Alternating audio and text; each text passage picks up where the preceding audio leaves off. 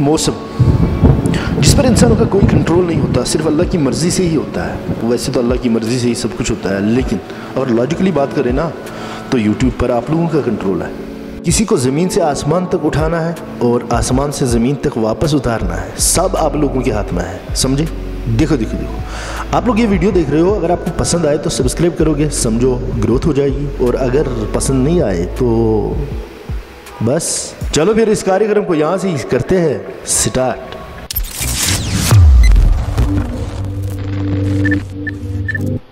तो कैसे आप लोग सब ठीक ठाक बढ़िया welcome to my channel kings of growth चलते रहो चलाते रहो खुद को। बताना यार बचाते रहो। थैंक यू रुको रुको। अरे भाई इतना बढ़िया मेहनत कर रहा है बंदा इसको जरा सपोर्ट तो दिखाओ यार सपोर्ट करो इसको। चलो निकलता हूँ मैं आज। आज आप शूट करें।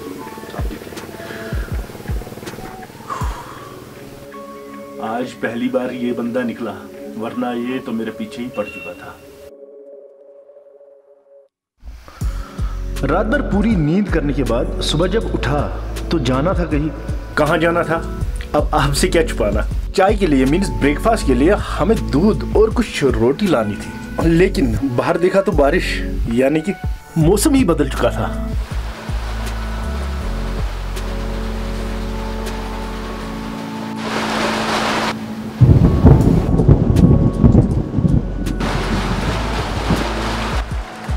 छाता मीन्स अम्ब्रेला। घर में ढूंढ रहा था, कहीं मिला ही नहीं। तो फिर क्या? अपना ही मैजिक काम आया। सर्च किया इंटरनेट पर अम्ब्रेला।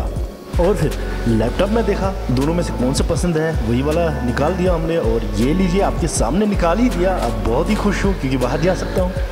तो फिर गया दूध और रोटी लाने।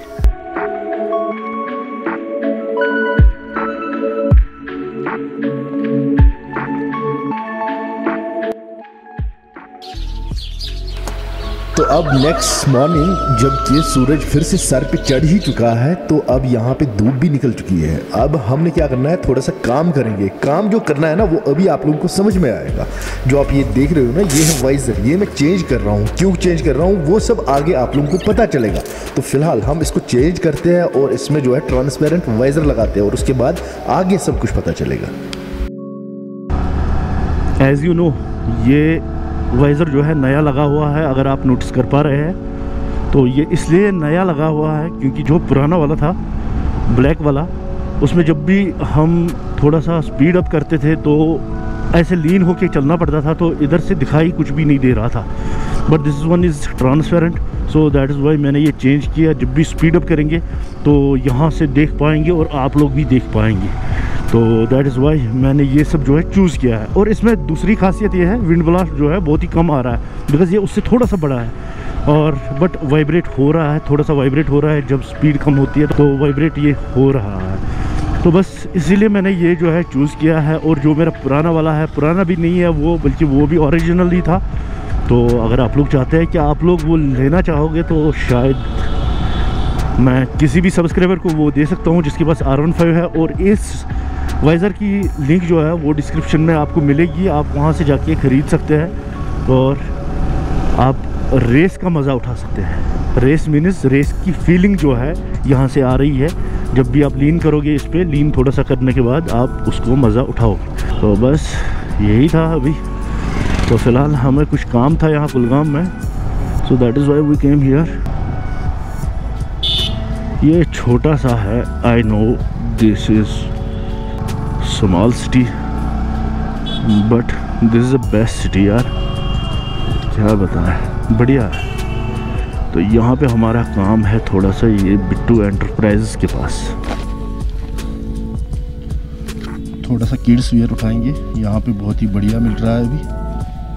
कुछ चूज़ कर रहे हैं, कुछ भैया लेने गए हैं।